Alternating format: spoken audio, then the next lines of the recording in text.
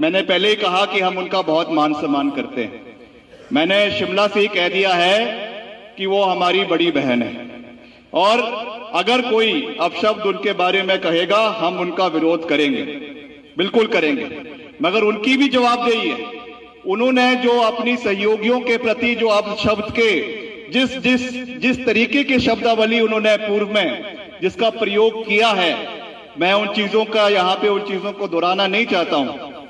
जो जो उन्होंने शब्द अपने को स्टार्स के बारे में कहे हैं, जब कीचड़ उछलेगा तो सबके ऊपर उछाला जाएगा।